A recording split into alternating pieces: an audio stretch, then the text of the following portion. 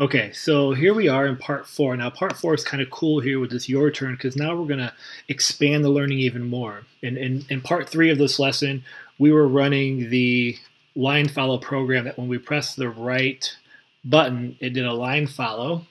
So let's go ahead and run that here again just so you can see that. I know you have that at, at your place as well. And we notice here that it's pretty wobbly, right? So what we want to do now is they want us to run the calibration programs.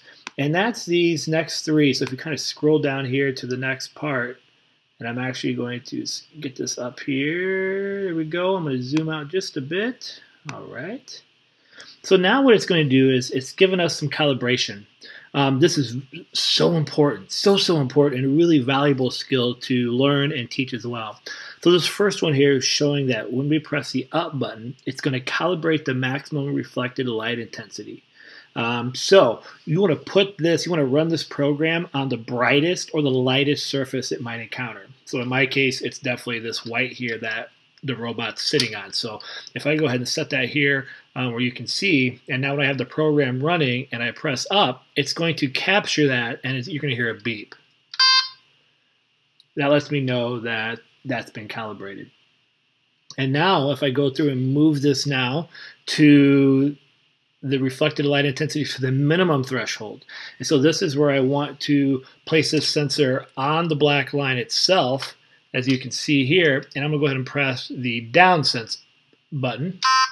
And so we've got that, all right? And then what we wanna do, what it's asking us to do here, um, to go ahead and run our line follow program again. Now, anytime we need to recalibrate, they've given us the center button to reset the calibration. So we just ran the original line follow. Let's go now ahead and run this again, pressing the right button, and let's see now that it's calibrated how this robot looks. So I don't know if you can see the difference or feel the difference on your own, but there's here's one. Okay, and then if I run it again, and I run it without it calibrated, I don't know if you can see much difference there. So think about this here. Why would this be an important skill? We can't just assume that everywhere we take our robot, it's going to be exactly the same, correct?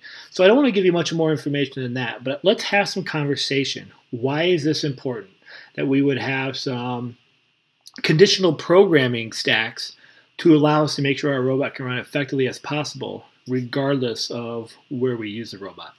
So once you have an understanding of that, you've kind of sampled around with this, play around with steps three and four here a little bit. And then when you are ready, let's move on to part five, which is going to be your challenge. And this is going to be a whole lot of fun. So when you're ready, I'll see you on the next step. Peace.